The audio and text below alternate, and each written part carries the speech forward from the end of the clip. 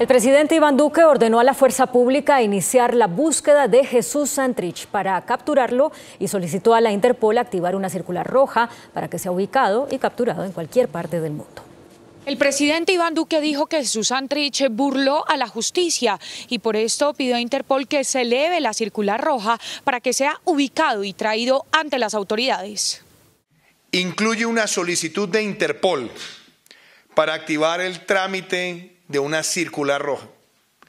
Y en ese sentido también hacemos un llamado a que si se detecta la presencia de alias Jesús Santrich en cualquier país, se active el protocolo de captura y de entrega a las autoridades colombianas le envió un mensaje a quienes ya son desmovilizados y señaló que Jesús Santrich recibirá una lección por haber evadido a la justicia. En que reciba su merecido por burlarse de la justicia, reincidir, como ha quedado en evidencia con las pruebas que ya conoce la comunidad internacional y que conocemos todos los colombianos. El presidente ordenó a la fuerza pública iniciar todas las acciones de búsqueda para capturarlo.